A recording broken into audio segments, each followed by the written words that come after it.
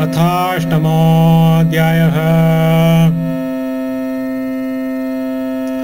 ब्राह्मण उवाच स्वकामैन्द्रियकं राजन् स्वर्गे नरक एव च। देहिनां यद्यथा दुःखं तस्मान्निच्चेत तत्पुदः ग्रासं सुमृष्टं विरसं महान्तं स्तोकमेव वा यदृच्चयैवापतितं ग्रसेधा जगरो क्रियः। शयिताहाणि भूरिणे निरारोणोपक्रमः यदि नोपनमेद्ग्रासो माहिरिव दिष्टभोक् ओजःसहो बलयुतं बिभ्रद्देहमकर्मकं शयानो वीतनिद्रश्च नेहेतीन्द्रियवानपि मुनिप्रसन्नगम्भीरो दुर्विगाह्यो दुरत्ययः अनन्तपारो ह्यक्षोभ्यः स्तिमितो दैवार्णवः संवृद्धकामो हीनो वा नारायणपरो मुनिः नोत्सर्पेत न शुष्येत सरिद्भिरिव सागरः। दृष्ट्वा स्त्रियं देवमायां तद्भावैरजितीन्द्रियः प्रलोभितपतत्यन्धे तमस्यग्नोपतङ्गवत् योषिद्धिरण्याभरणाम्बरादे द्रव्येषु माया रचितेषु मूढः। प्रलोभितात्मा ह्युपभोगबुद्ध्या पतङ्गवन्नश्यति नष्टदृष्टिः। स्तोकं स्तोकं ग्रसेद्ग्रासं देहो वर्तेत यावता। गृह्णाहिं सन्नातिष्ठेत् वृत्तिं माधुकरी मुनिः अनुभ्यश्च महद्भ्यश्च शास्त्रेभ्य सारमादद्यात् पुष्पेभ्य इव षट्पदः। सायन्तनं श्वस श्वस्तनं वा न सङ्गृह्यीत भिक्षितं सायन्तनं श्वस्तनं वा न सङ्गृह्णीत भिक्षितं पाणिपात्रोदरामत्रो मक्षिकेव न सङ्ग्रही। सायन्तनं श्वस्तनं वा न सङ्गृह्णीत भिक्षुकः। मक्षिका इव सङ्गृह्णन् सह तेन विनश्यति पदापि युवतीं भिक्षोर्न स्पृशेद्धारवीमपि।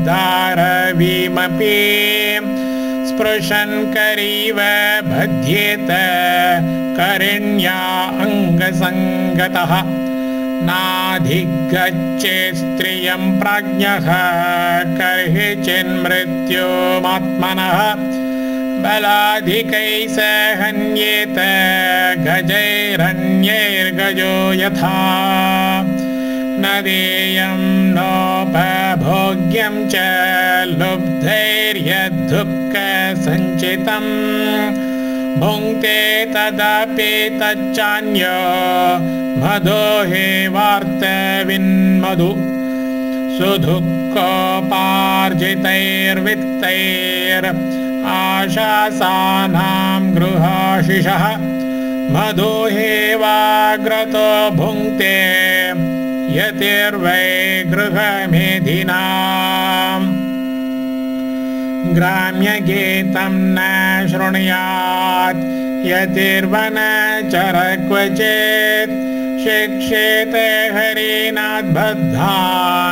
मृगयोर्गीतमोहितात् नृत्यबाधित्रगीतानि जुषन् ग्राम्याणि योषिता आसां क्रीडनको वश्य ऋष्यशृङ्गो मृगीसुतः जिह्वया ते प्रमाथिन्या जनो रसविमोहितः मृत्युमृच्छत्य सद्बुद्धिर्मीनस्तु बढीशैर्यथा इन्द्रियाणि जयन्त्याशो निराहारामणीषिणः वर्जयित्वा तु रसनं तन्निरन्नस्य वर्धते। तावज्जितेन्द्रियो न स्यात् विजितान्येन्द्रियपुमान् न जयेत्रसनं यावज्जितं सर्वं जिते रसे पिङ्गला नाम विश्यासीत् विदेहनगरे पुरा। तस्या मे शिक्षितं किञ्चिन् निबोध नृपनन्दन सा स्वैरिन्येकदा कान्तं सङ्केत उपनिष्यति अभूत्काले बहिर्द्वारे बिभ्रतिरूपमुत्तमम्। मार्ग आगच्छतो वीक्ष्य पुरुषान् पुरुषर्षभ। ताच्चुल्कदान्वित्तवतः कान्तान्मे निर्तकामुका आगतेष्वपयातेषु सा सङ्केतोपजीविनी अप्यन्यो वित्तवान् कोऽपि मामुपैष्यति भूरिदः। एवं दुराशयाध्वस्तन् निद्राध्वार्यवलम्बति निर्गच्छन्ति प्रविशति निशीतं समपद्यत। तस्या वित्ताशया शुष्यत् वक्त्रायादीनचेतसः निर्वेदपरमो जज्ञे चिन्ता हेतु सुखावहः। तस्या निर्विन्नचित्ताया गीतं शृणु यथा मम निर्वेद आशापाषाणां पुरुषस्य यथा ह्यसिः न ह्यङ्गाजातनिर्वेदो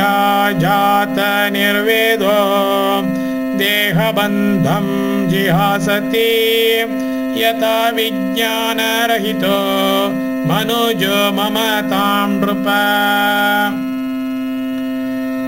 पिङ्गलोवाच अहो मे मोहविततिं पश्यता विजितात्मनः या कान्तादसतः कामं कामये येन बालिशा सन्तं समीपे रमणं रतिप्रदं वित्तप्रदं नित्यमिमं विहाय।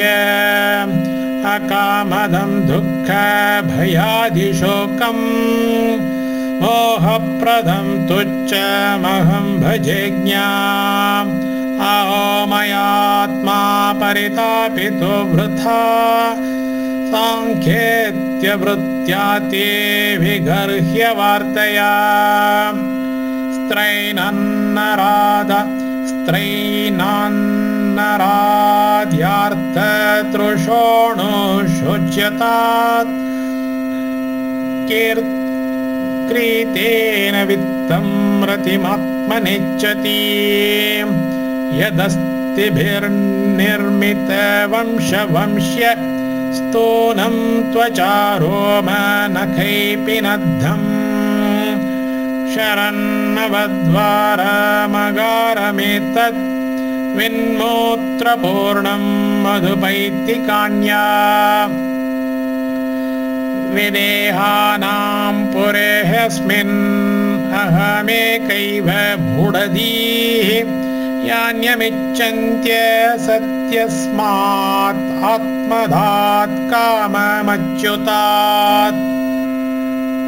सुहृत्पृष्टतमो नाथ आत्मा चायं शरीरिणां तं विक्रियात्मनैवाहं रमेनेन यथा रमा। कियत्प्रियं ते व्यभजन् कामाये कामधनराः। आद्यन्तवन्त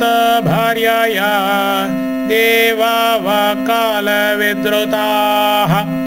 नूनं मे भगवान् प्रीतो विष्णु केनापि कर्मणा निर्वेदोऽयं दुराशाया यन्मे जातः सुखावः। मैवं स्योर्मन्धभाग्यायाः क्लेशा निर्वेदहेतवः। येनानुबन्धं निर्हृत्य पुरुषशममृच्छति तेनोपकृतमादाय शिरसा ग्राम्य सङ्गताः त्यक्त्वा दुराशा शरणं व्रजामि तमधीश्वरम्। सन्तुष्टा श्रद्धा दत्येतत् यथा लाभेन जीवति। विहराम्यमूणै वाहम् रमणेन वै संसारकोपे पतितं विषयैर्मुषेति क्षणम् ग्रस्तं कालाहिनात्मानं कोऽन्यस्त्रातुमधीश्वरः आत्मैव ह्यात्मनो गोप्ता निर्विद्येत यथा किलात् अप्रमत्त इदं पश्येत् ग्रस्तं कालाहिना जगत्। ब्राह्मण उवाच एवं व्यवसितमतेर्दुराशां कान्ततर्षजां चित्वोपशममास्थाय शय्यामुपविवेश सा आशा हि परमं दुःखं नैराश्यं परमं सुखम् यत सञ्चिन्त्य कान्ताशां सुखं शुष्वाप पिङ्गला। इति श्रीमद्भागवते महापुराणे पारमहंस्यां संहितायाम् एकादशस्कन्धे अष्टमोऽध्यायः